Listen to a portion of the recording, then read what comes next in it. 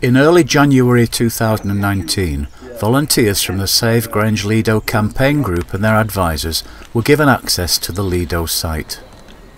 Planning and costing continues in their campaign to reopen the Art Deco Lido.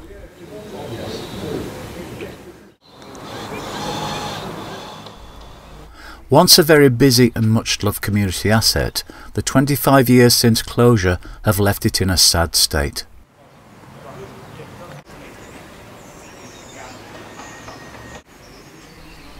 But people are still curious.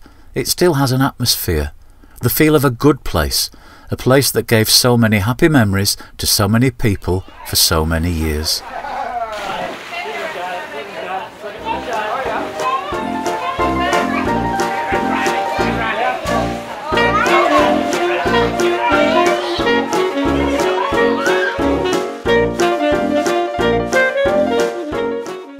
Grange Lido was formally opened on August 18, 1932, one of 180 open-air pools built in Britain between 1930 and 1939.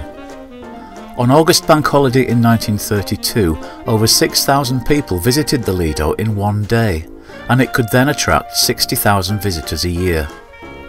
It celebrated its 50th anniversary in 1982 with a celebration gala.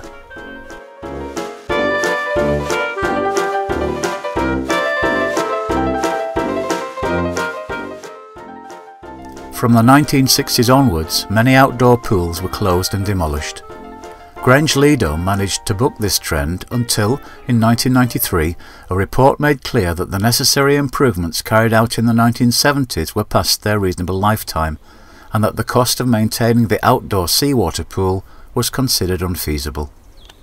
And so the Lido sadly closed its doors.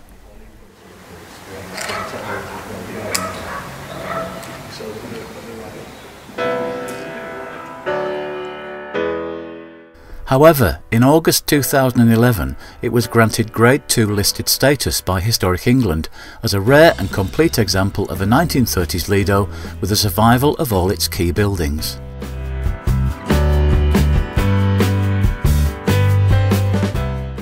An entrance block with upper viewing gallery.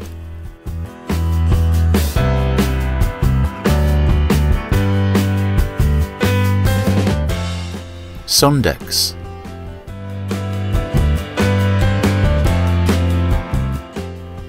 detached changing wings, terraces, pump house, paddling pool, stepped diving stage and its unusual mushroom-shaped pool. In recent years there has been a huge national resurgence in the popularity of outdoor pools. Restored Lidos across the country are attracting increasing numbers of visitors. Members of the Save Grange Lido team have visited many of these and have benefited from their practical and business planning advice.